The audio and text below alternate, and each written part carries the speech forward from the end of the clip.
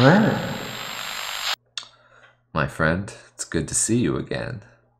As always, I would like us to pretend that we're speaking to each other through a panel in a magic book.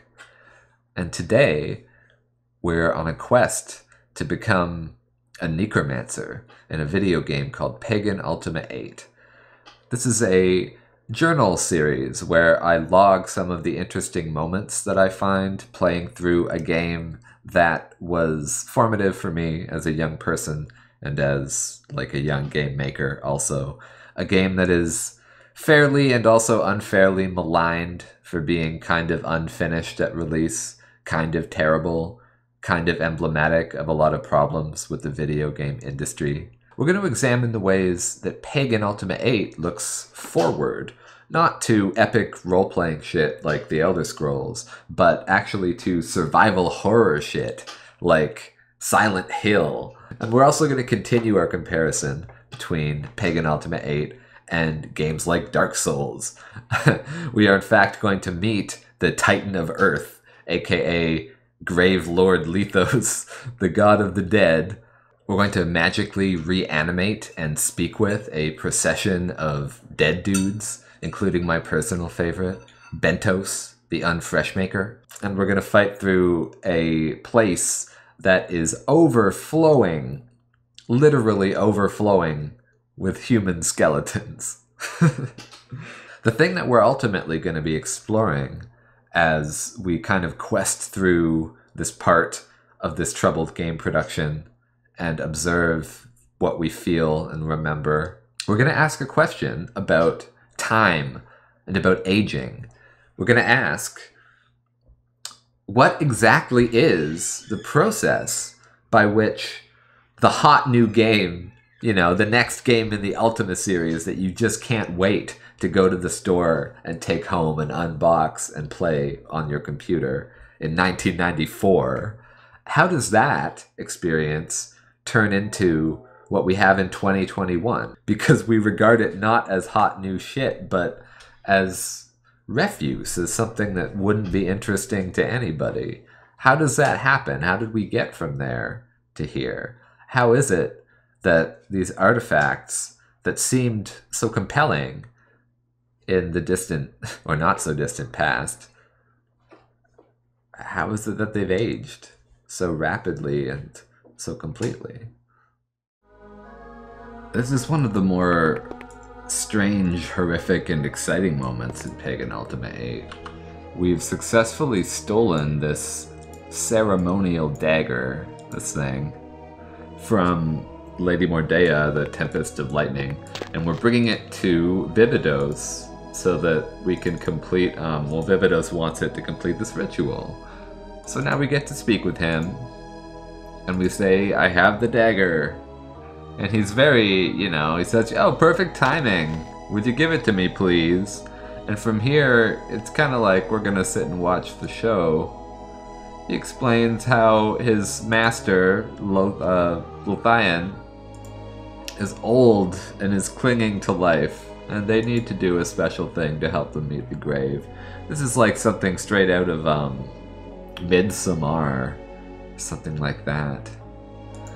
So our new boss, the necromancer guy here, instructs us to kneel before the altar of passage. And he kind of asks the Mountain King, Lithos, Lord of the Underworld, does this sacrifice please you? And he's like, Arr. This person's very excited to greet his master, the Mountain King.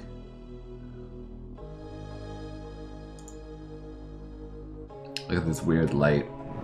Light disc. These zombies, aren't they great? They're sort of enormous. And they're just here to greet um, Lothian as they pass into the underworld. They're not hostile zombies. The grave opens before me. Be you cleansed by death? And stuff like this. Ugh, sweet dagger, I am your sheath. Check this part out though.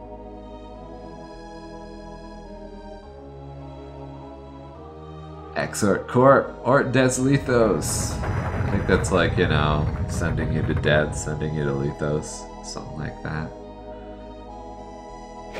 Blah! Stab! Blood! And now we bow in reverence. Arise, my friend, this character says to us. And now that, you know, we asked to see the Necromancer, and he's like, well, I am the Necromancer now. You could be like, you could do your standard avatar voice. You murdered that, you murdered that woman. You murdered her, Bobby. I, that's not, um, I mean, it's pretty, Avatar is being a bit thick here, but like, it's pretty clear that, yeah, this was like a magic ritual, and it was pretty consensual, the whole thing. He explains that one day it'll happen to him. This is the ceremony of eternity that we just completed. Their magic dagger. I think Lady Mordea was basically trying to end necromancy, sort of destroy the Jedi Order by preventing, uh, keeping this dagger for herself so they could not complete their little magic ritual. So what I need to do is become this person's apprentice.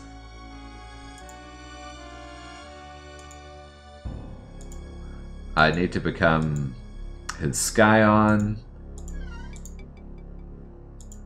And he says, okay, well, you can fetch me some fucking reagents. As your first task is my apprentice, and I guess that's what we'll do. Which ones? He wants Executioner's Hood from a place of great danger, and also Fallen Sticks from a place where spirits roam. We've been where spirits roam. It's that graveyard uh, ghost house in the poor part of town. I actually already have the dead man's elbow. But he explains that the executioner's hood will be located somewhere nearby between where we are now, the graveyard, and the city of Tenebrae. So it's like a fun kind of scavenger hunt. You don't really get like a mini map pointer that sends you there, you know.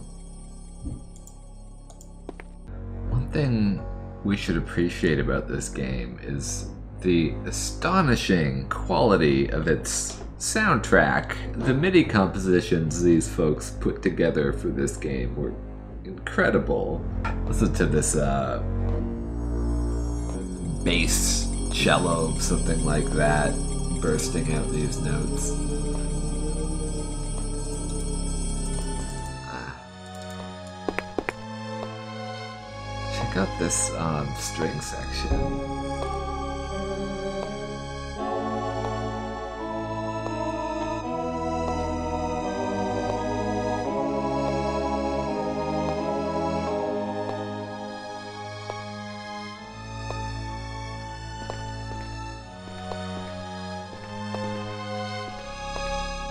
That shit is morose.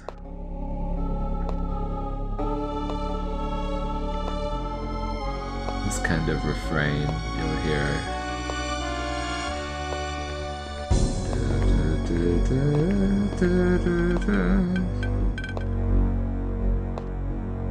Yeah, isn't that cool?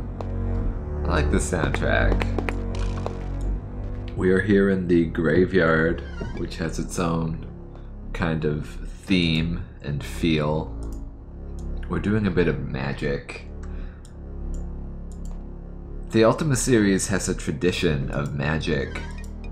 Not as something that empowers you the way it does in the Elder Scrolls. Like, I, I, I get to use magic so I can Fus Ro Dah, whoop your ass. Magic has to be painstakingly prepared. I put my reagents in a bag and I use my key of the caretaker on the bag CalWiz Corp. And that creates one usage, like one of these scrolls, one usage of death speak, which will allow me to speak with various corpses, necromancers, wise necromancer spirits. But besides making a bunch of those, I also need to use Blood and Blackmoor.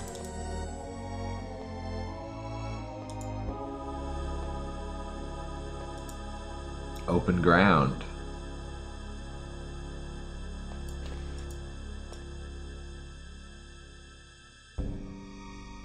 Oh, I think I have too many items. Yeah, well, I guess Korgan's Fang, and my old magic dagger, will just live here in the cemetery now. I have maybe too many bags. You know what I'm saying? There's quite a few of them. But I can't bear to part with my bags. Spot where we call open ground is this temple-like place full of bones and gargoyles. It's kind of interesting. I think we just go over here and we take our open ground spell. Right? Crumble, crumble, crumble. And, uh, in we go. Oh man. It's like kind of fucking scary in here.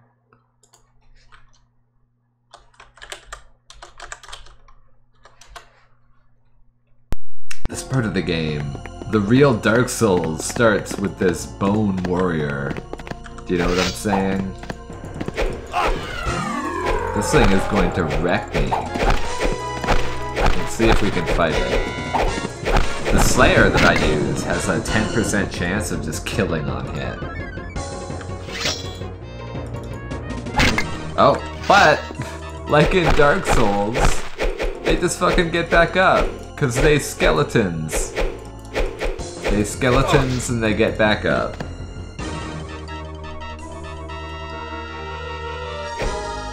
It's scary as hell, but didn't they had some good loot on them, didn't they? We're in the crypt of the necromancers now on a quest to speak with not only like the last dead necromancer, but the one before that, and the one before that, and the one before that. Because that's what you do when you're like the Scion scion of the necromancers. For some reason, you know, there's just traps that kill you. I guess it's like you have to know where you're going in this cemetery or else you're gonna fucking die. I mean, that's an innovation that they don't necessarily have, say, in, in London cemeteries. This is a simple switch puzzle. This one opens the right door, but the other one is a trap that just kind of inverts your display. You have to like try to get back to that switch. Isn't that fun? Look at how beautiful these sort of ornate pillars are in this austere, dead, bony environment. I think we can really look at this as like the genesis of, um, you know, the Tomb of the Giants, something like that, some Dark Souls shit.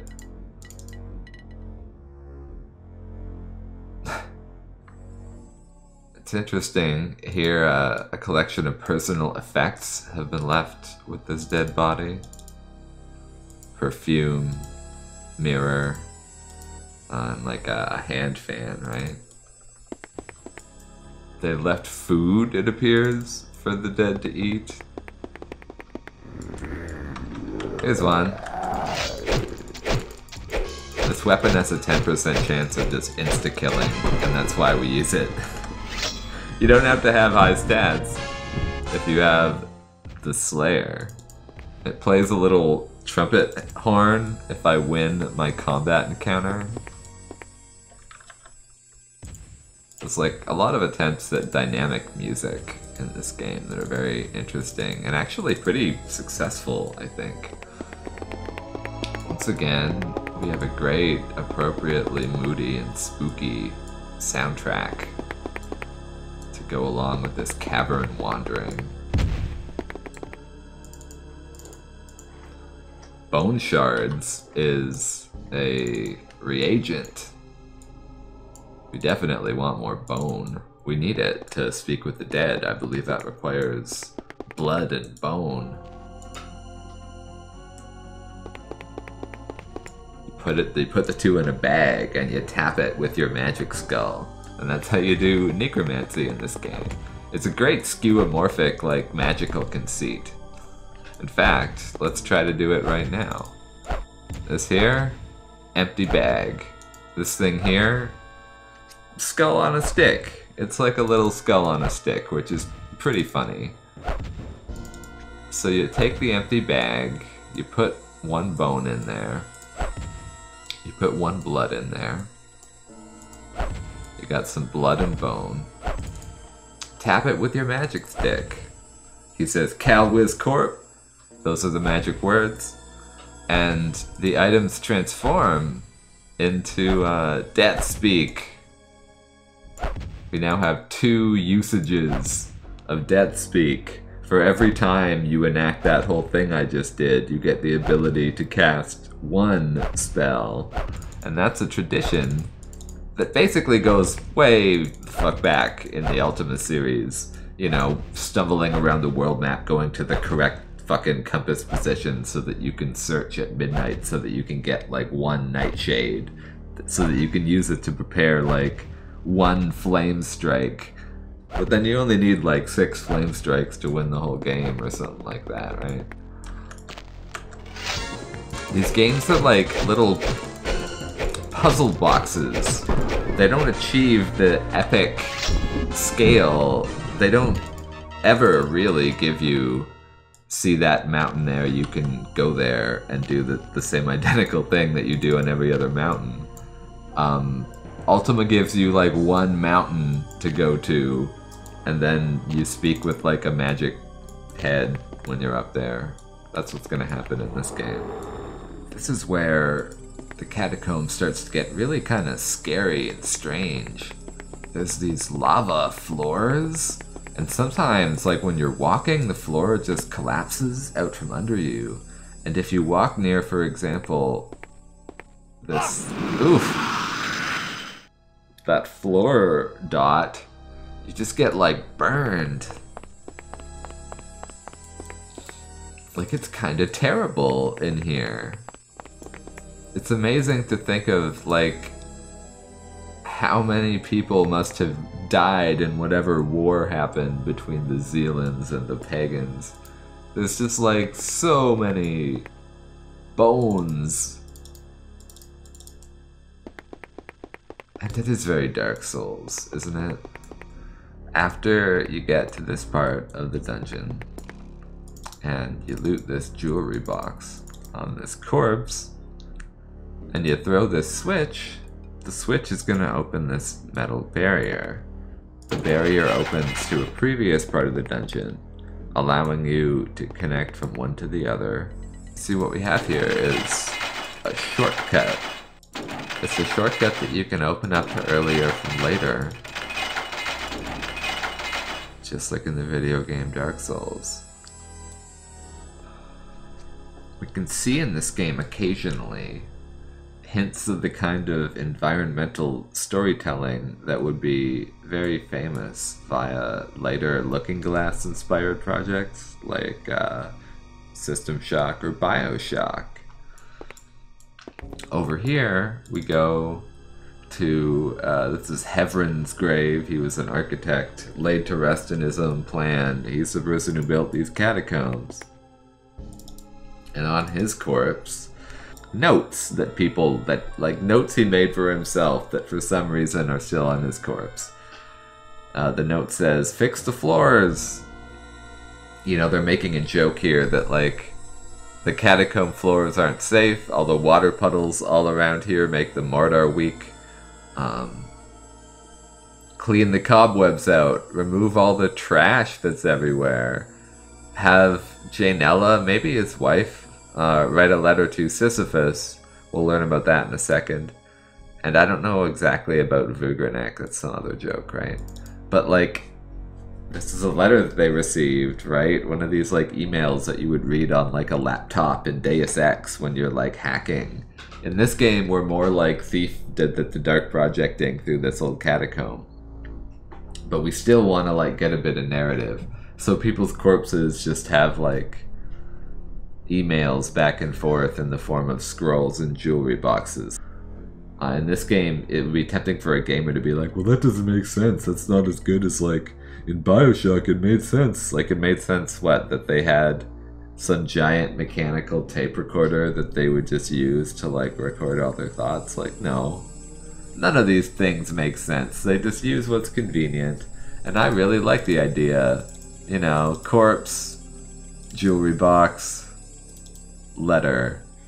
But it, it, it looks like a scroll because you didn't have time to implement letters. Fine. Dear sir, it has come to my attention that the floors of your bloody catacombs have proven to be rather faulty, if not downright dangerous. You know, we've been going through these catacombs, tripping on everything, falling through the floor.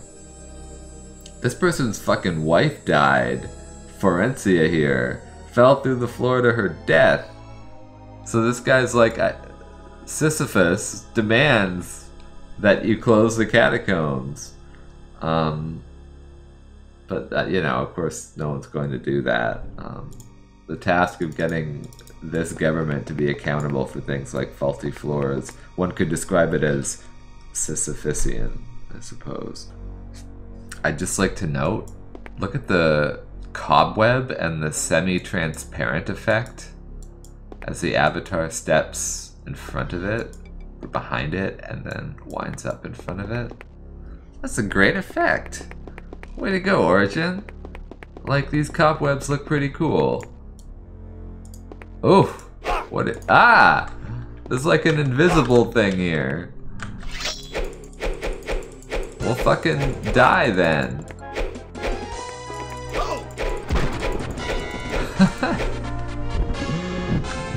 Just like a mean pair of eyes. But my Slayer destroyed it, so I can be glad. But like, yo, that's scary. This game is scary. You know, fans complained about this game because they're like, oh, it's not an Ultima game. And, and they're right, it's not an Ultima game. It's a survival horror game, right? And it's like a pretty good one. I mean, I'm here trying to tell you about catacombs and shit. Ah, look at all these zombies. The fuck? What the fuck is this? Alright. But we can always use the off-screen trick. If we just run... I am completely lost. But if we just run far enough away, and then we run back again, most of them are gone, right? And the... Ah!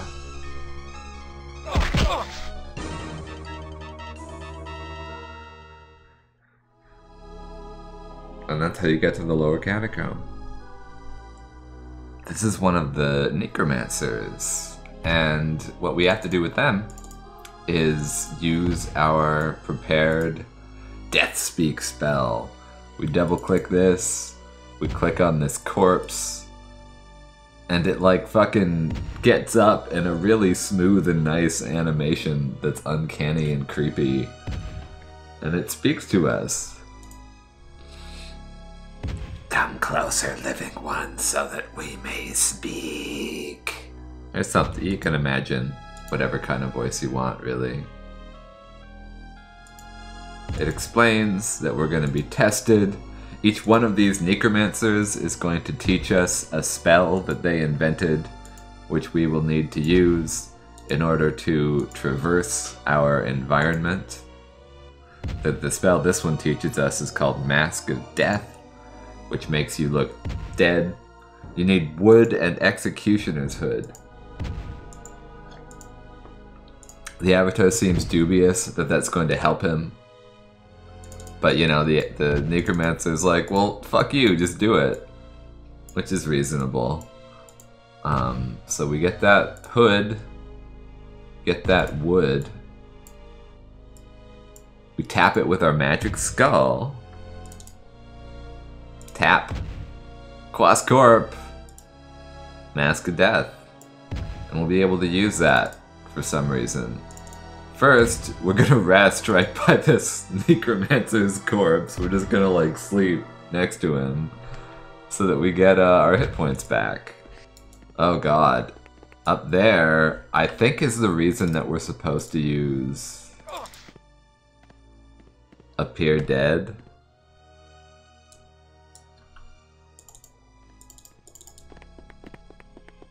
Because it makes these horrible demons not attack us.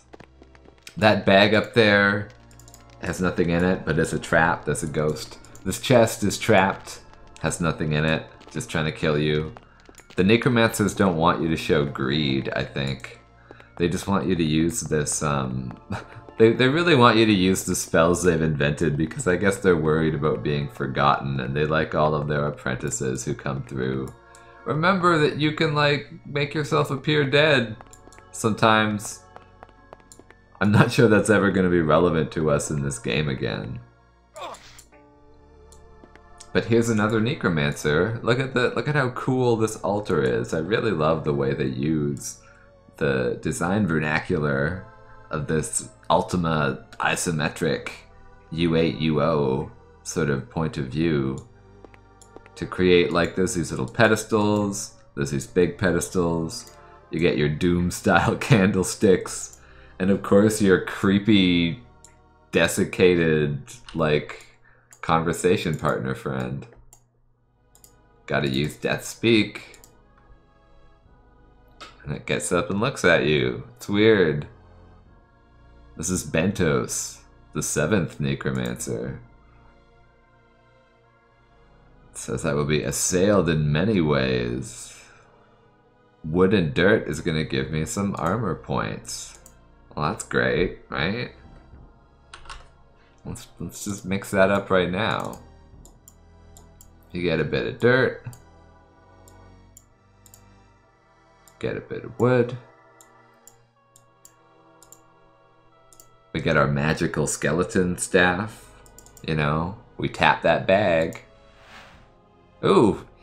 Oh. I should have used wood, not Dead Man's Elbow, which I have a lot of, but which is, I guess, a different reagent. There it is. Rock Flesh. Similar but legally distinct from Stone Skin.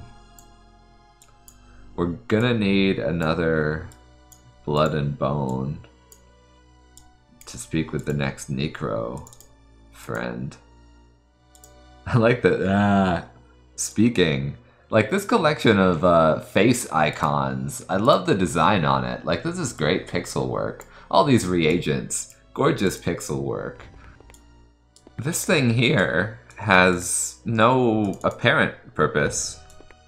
I don't know if it has any sort of programmed official purpose in the game. It's an altar with a skull on it. It's surrounded in candles. We could look at this as, you know, the kind of random set dressing that you might encounter in like a Doom map. If you were taking the rhetorical perspective of a like disappointed Ultima purist, you'd probably say that this is like unfinished, that this was wanting some, you know, higher purpose that it ultimately was never put to because they ran out of time.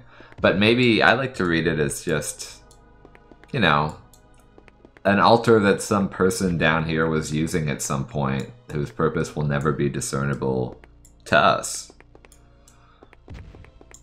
It's the kind of thing that adds a bit of mystery, David Lynchian style mystery, to what would otherwise be like quite an austere environment. This gray double height cave place Time to talk with another dead guy here. Dead person. Calwiz Corp. Spooky Necromancer. You are progressing well. Forgive those who attacked you. They're just testing you. Yeah, yeah, let's get the next spell. Blood, bone, and wood. To maybe summon some, some zombos to help you? Yeah.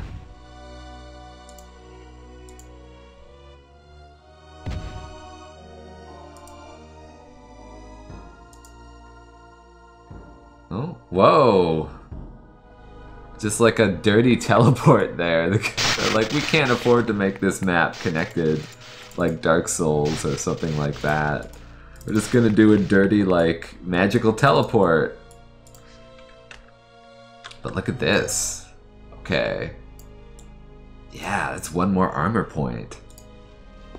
It's great that you can find like a whole shield just on a, a dead body upgrade. We would probably think of this as very much in the tradition of, you know, Dark Souls. Those games place the glowing white indicator to let you know, hey, you can collect this. In some ways, they're a lot less hardcore than this game. This game just, the skeletons literally everywhere. You can't swing a fucking cat. Or a kith. You can't swing a fucking kith without hitting a huge pile of skeletons. But nonetheless, you have to sort of sift through the bodies of those who came before in order to, to kind of get these things that you need to keep going. It's like a major thematic element in this game. It's interesting that I'm um, sort of happy about this shield upgrade, even though the avatar doesn't fight with the shield. You can see that adding this, I mean, they simply didn't have time to implement the part where he used his shield. so what we can say about that, again, if we're surly Ultima purists, we can say, well, they didn't have time to finish it, and it sucks. Or we can kind of take a a more I don't know, broad-minded view of it and say something like it's just abstract the same way that JRPGs are. Like in Final Fantasy IV slash American Final Fantasy II, with Cecil and Kane in them. You don't really fight with a shield either, but I think you do still get and equip them. And this is kind of what's happening here. They won't. They wouldn't even have the paper doll support for visually giving the avatar a shield. They, they'd get that ready for Ultima Online. We're gonna try to use our summon Skeleman, Skeleperson ability but we don't want to just kill these zombies. We need. We need to kill this horrible thing. We can deal with zombies. The problem, though, is that it, everything takes time. So now that I'm over here, Calcorp in, summon the skeleton. No, don't go off screen! Also, there wasn't enough room, I guess, for the spawn to work. well, Let's mix up another one then. Magic in this game, you could say it's not well implemented, but I prefer to think of it as like real magic, kinda esoteric, you know, if you do things wrong, shit don't work. This guy, he wants a target. And if you click wrong, he'll attack you. He'll say, then you shall be my victim. So we'll make those two fight. I wonder what'll happen. Probably they'll just futz around and in the end we'll just do the run off screen, run on screen trick. But for the moment at least, these things are battling. The targeting, oh, they're fighting each other, hey! Oh, and then, of course, immediately my, my underling turns upon me. Uh, the, the moral of the story is never use summon undead. The skeleton will just get back up. Don't trust don't trust the servants of Lithos, right? Like these magic, the necromancer who gave it to you is maybe proud of it, but the avatar can kind of, I think, see the Meanwhile, my servant skeleton is... Well, okay. Let's speak with the necromancer then.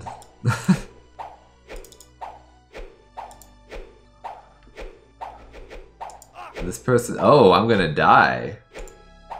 The zombie is gonna kill me.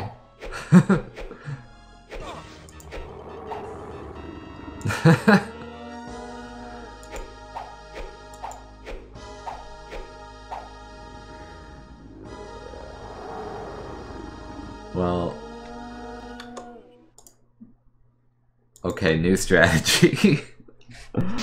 the new strategy is don't summon any help, right? Why summon something that's just immediately going to turn against you any damn way? I can just kind of use this quickly and kind of hurry through the conversation. I've worked hard to do so. This person's like, that's bullshit. They call you meat. Executioner's Hood and Blackmoor. In Vast Corp. Oh, and it, kills your enemy, maybe. Okay. Let's get that into the old uh, reagent rotation right away. You get some Hood. You get some Blackmoor. Boop. Boop. Grant peace. It's like probably slay undead is another way to look at that. And now we save the game because god, some of that stuff a little bit gnarly. Ah, Avatar, the thrill of conquest. Now we're gonna see Ultima 8 doing something kind of dreamlike. it's just this lush, grassy area with trees growing underground. That's like a cool, kind of weird thing.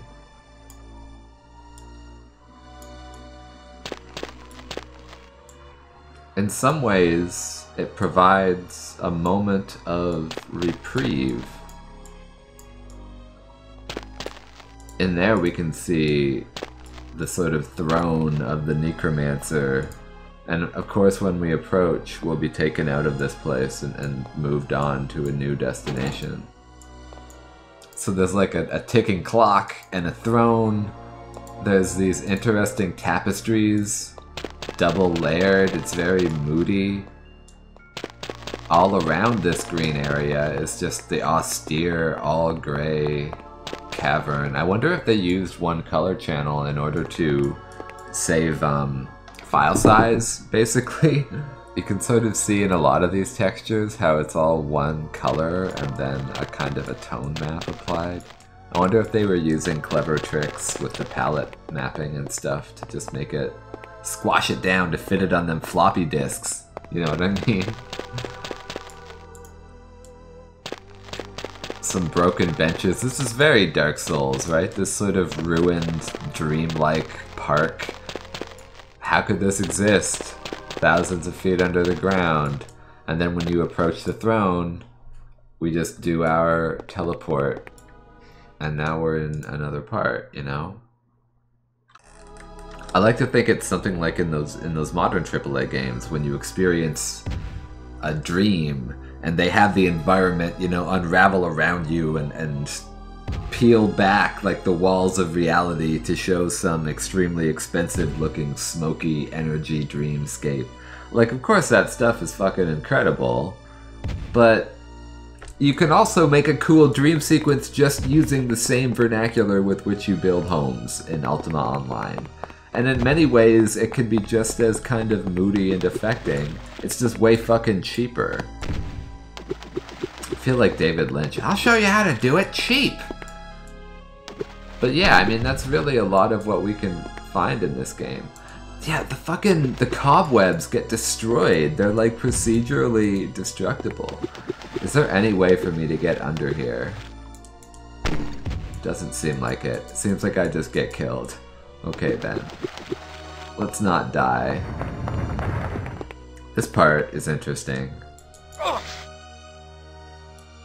Those are some magic shorts um, you know, magic armor. But really, we can plainly see that those are magic shorts. But look, if I were to, say, throw some object, ah, it crumbles. You'll just fall to your death if you try to get down there. These always weigh just one. So once you get magic items, your weight limit basically your carry limit effectively goes way up. This is very similar to what you would see in something like, you know, Dark Souls. Once you've solved a couple of these kind of early game limitations, they give you the opportunity to like feel a bit better. about like your capabilities. You have to make somebody start off a little bit inconvenienced if you want to make it possible for them to later feel convenienced. And so, in many ways, these sort of gritty, hard games are simply taking the scale and moving it. Elder Scrolls is using the IGN scale, right? 6 to 10. You start out like pretty fucking amazing as an adventure character, and you end as some sort of godlike destroyer. In this game, and in games like Dark Souls, you kind of start out as a pretty pitiful and ineffectual fighter, and you end as like pretty much as strong as one of those black knights that you fight in the the city near the beginning. You know, you're a pretty good fighter. You're okay. You're not as good as the Red Phantoms. And that's kind of like the difference in attitude. Like, that's a way to create a tonal contrast. That's a way to make a game with a dark tone. Instead of them going from pretty good to amazing, have them go from pitiful and completely ineffective to sort of marginally adept. Here at the next step in the Catacomb Necromancer run, I just want to show off something kind of interesting. If you find this wall with the weird looking seam there. Here I am, this is just, you know, cave. There's some traps that are trying to kill me. They got those like funny looking particle explosions. But if you find this seam in the wall, you can just fucking run through it. There you go. Yeah, now we're outside the level. we can kind of, you know, paint the avatar on the frame buffer. We can do some interesting sort of procedural art using the frame buffer that's been made accessible to us through this glitch. We can also try to find where the actual level is. See, we hit the black, and now it's like, oh, we're, we're actually there's the cave that we used to be in, right? We're just on the other side of the wall now. Presumably if you were a speedrunner, you'd be able to like do something cool with this. I seem to be using it simply to get killed by all of the traps that have no problem targeting me. I need to get to him, to that necromancer down there. Oof. Okay, we're going to speak with the next necromancer now having traversed another pointless death maze. You've nearly completed your test. You know, they really want you to, like, be scared. They put you in a sort of Universal Studios um, death maze, you know, a ride. And this guy's just like, oh, you need to be ready for Gallias. But he gives you a really cool spell. He gives you the ability to resist death, to come back from the dead like in fucking Spelunky. Wood, Dirt, and Blackmoor. Say the words Vass and Corp. And then, you know, they say and it can only be used once. So you need to choose the moment wisely. You have to like call your shot. You have to I get according to this necromancer, I don't even know if it's programmed that way. What did they say? Wood, dirt, Blackmoor? Let's just make that shit right now.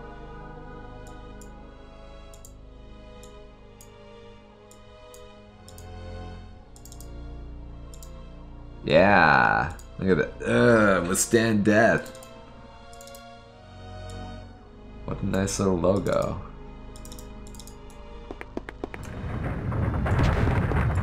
Oof. I'm glad I didn't use it already. You know, it'd be pretty funny if you spent it on just a balcony falling on your head. This makeshift camp is one of the best. Uh, the metaphor we have today for this is skeleton on a toilet, owing to Bethesda's work on the, the New Age Fallout games. You know, they would do environmental storytelling by putting skeletons everywhere, and often there would be bathrooms where they would put random loot in and on the, one of the bathroom toilets would be like a skeleton. The people that are giving you the new product want you to think of this as extremely outmoded, even though it's giving you all the exact same shit. These are just skeletons on toilets. This is a campfire with a literal skeleton. You know, this person presumably It's kind of odd, right? Did they die and then completely decay all while their campfire was still burning? It's not actually any more logical than what we, you know, you can poke fun endlessly at what they do in the Bethesda games, of course. But that means, you know, the campfire is actually sort of a ghostly artifact. We can read it a lot like you would in Dark Souls, right? Why are these campfires still sort of going? We must say that in some way it represents the spirit of this um, skeleton, this person that was here. Just like you would see in something like a, a Souls game or, you know, any survival horror game, combat is optional and combat is pretty awkward. After you kind of become accustomed to the particular scariness of, you know, usually it's some really simple monster script that it just shambles around. It's pretty easy to outsmart. Silent Hill is like that. Like, here's one, right? This thing is like a little bit scary. Let's try killing it. Let's fight it. I don't think I've fought one of these before. Huh? Is that the sweet song of lamentation I hear? We have a 1 in 10 chance of just instant killing it because we are wielding the Slayer. Oh! Wow! What an animation! And they actually spawn individual pieces. so that they can have them procedurally fly in a direction. I'm glad we did that. That was fun. Ooh! Fucking I hate ghosts. Perhaps I can grant this ghost piece. I also don't know what to do about the skulls, really.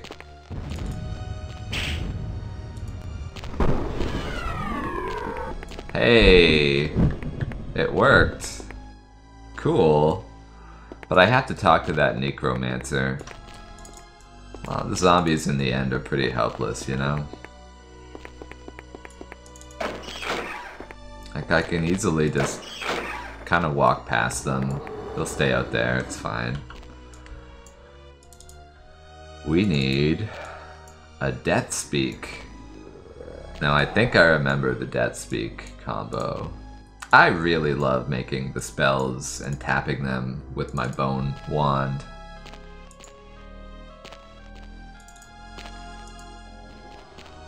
So they're giving us an earth golem spell, which is pretty cool, you know? Blood, bone, wood, dirt, and Blackmoor. That's a full one. That's a full bag of reagents. Or Elam Zen.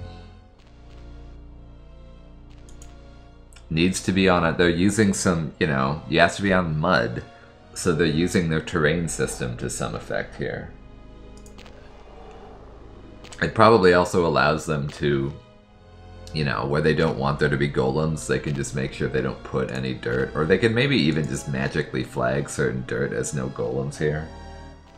If I were building this game and I knew that we had no real resources, what I would do was actually not connect the dirt to golem spawnness at all. I would have separate volumes of you can make a golem here, just so that in areas where you don't expect it, it doesn't happen. I mean, that's really starting to murder the open world sensibility quite a lot, but it's the sort of thing where it's fun to cast. It'll be fun for us to cast Mud Golem once, but is it really worth debugging every place that that could possibly appear? Especially when this game's not gonna really end up being everything that people imagine. Well, okay, we defeated that ghost. There's nothing up here.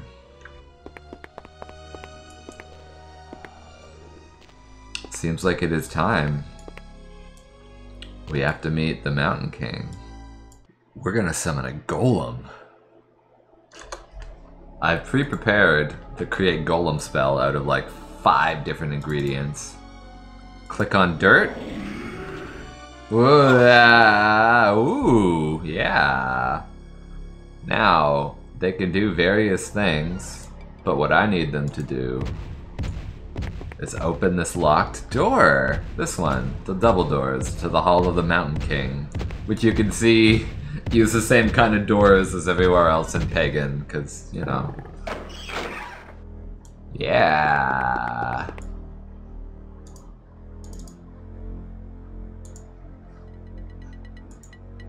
I can order the golem to move.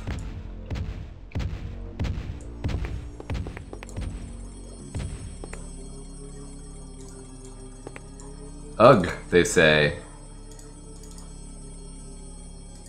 Can you open this door, Golem?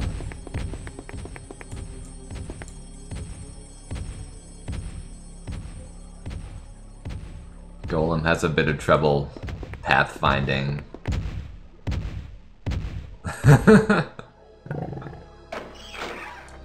but he can! Thank you, Golem. Now I can be like, okay, you may return to the earth. I have been faithfully served. We're in, in the Hall of the Mountain King, and shit's getting pretty weird. You can see that there are these floating platforms, all made of skulls, because everything in the domain of Lithos here is made of skulls. There they all are. Under us, we have some sunken ruins, just like a game you might have heard of from from software that we've discussed already.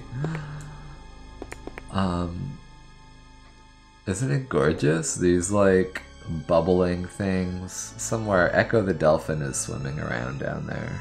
Somewhere on, on some kind of quest through forgotten video games to, to like save their dolphin pod family. This music is great. It's sort of lonely and solemn.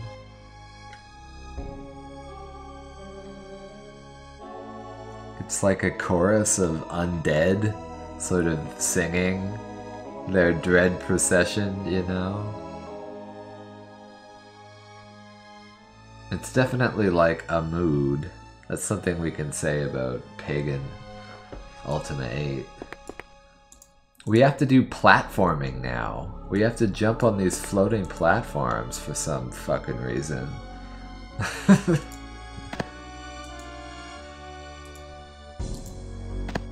uh,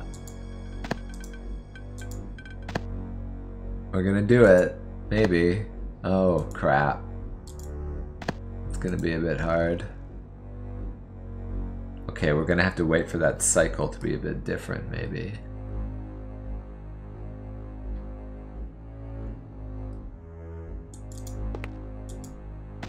Not gonna have a lot of time for this. And we fall to our death.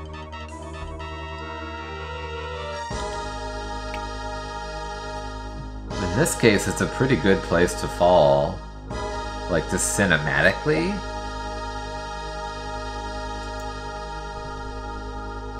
This sort of sunken ruins lake. I mean, it's kind of gorgeous, right?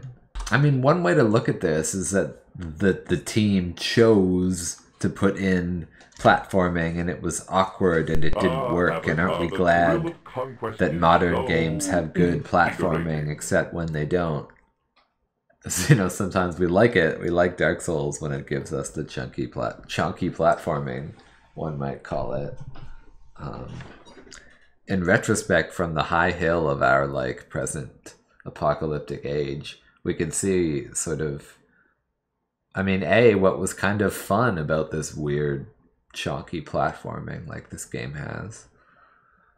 Um, but B, we can see that in a way the team didn't really have a choice. Not in the way that we're implying here. They were working on within the limitations of, you know, certain computer systems and within their game engine.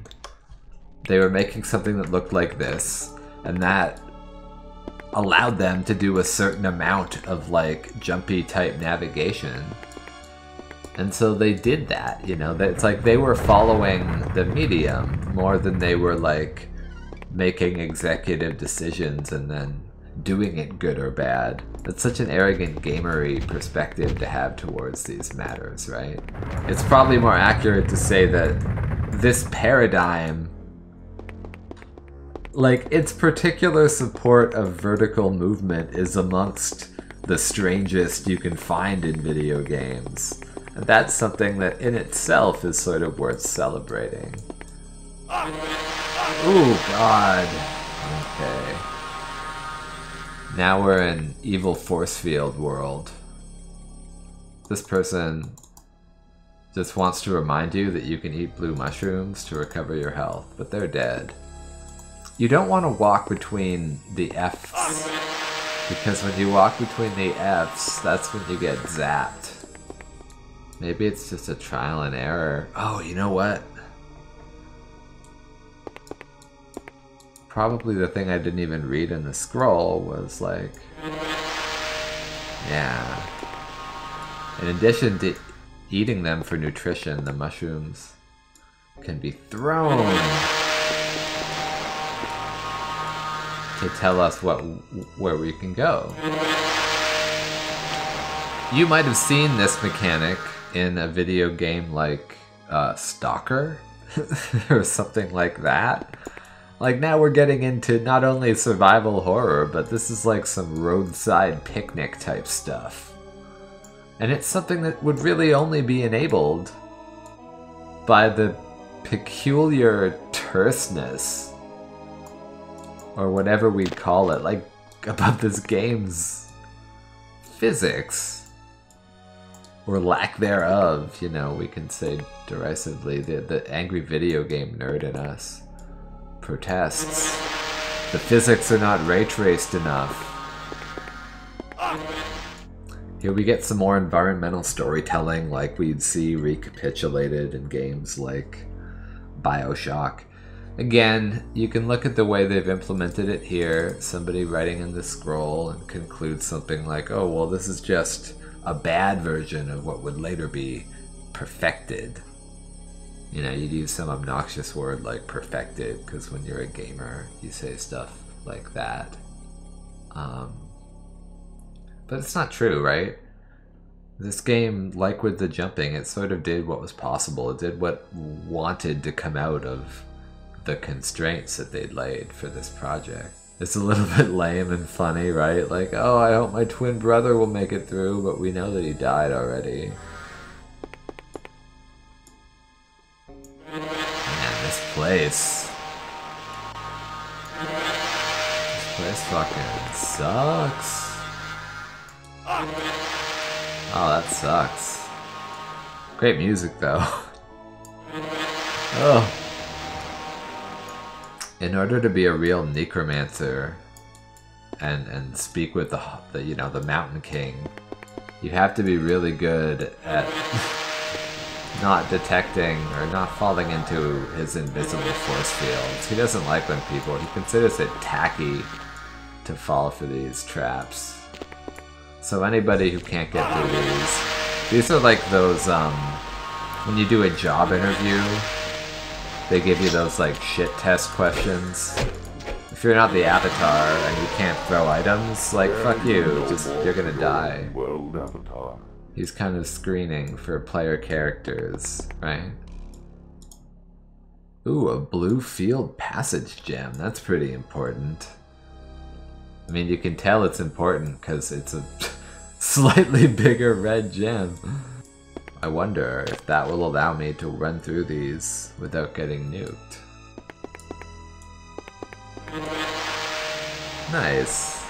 So that's like a good, crunchy, satisfying, pretty Dark Souls-like progression loop. You go through this maze, it's treacherous, it's awful, it's like inspired a bit by things like that Stalker movie, and arguably would inspire games like Stalker. But then they reward you with this item, and the item kind of just lets you feel a substantial chunk of progress. We can now traverse this miserable place with relative ease. Well, we've been going down and down and down to the center of the world, and finally we found the Hall of the Mountain King.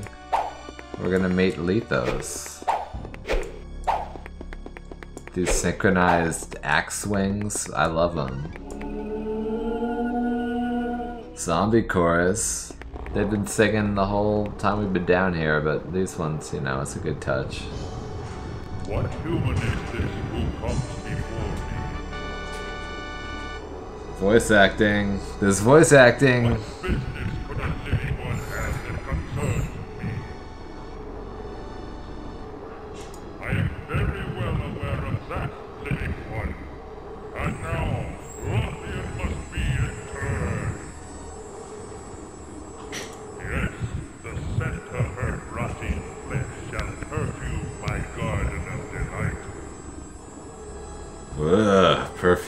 Garden of Delight. That's. I beg a boon. I love that phrase. My lord, I beg a boon. He's like, boon? What boon? You, you beg a, a boon? They say it a lot.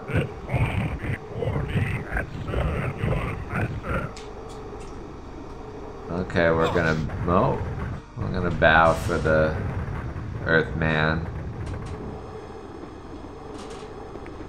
Now, kneel before me, worm. To become the apprentice. Doing a lot of bowing, bending the knee. To my clay. Ask this of the necromancer. He will teach you, for it is his task to serve. Yeah, don't don't ask God how to do quests.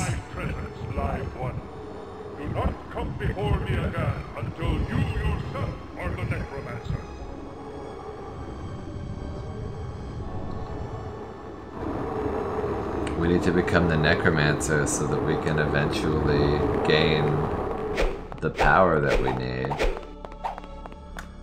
Well, that's we talked with God. God kind of talked shit about us. He made a real scary face and he was fully voice acted, I guess the way you'd expect. In a world of non voice acted characters, having the one speak to you is, I suppose, pretty divine.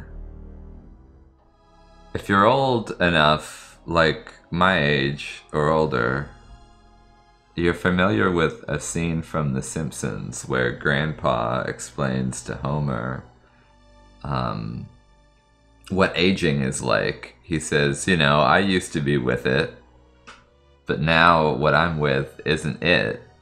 And what's it seems weird and scary to me. And he sort of points his finger and says, It'll happen to you. You don't have to wait until your grandpa's age if you want that to happen to you. You can do something like you can go on your device and you can turn off your advertising ID.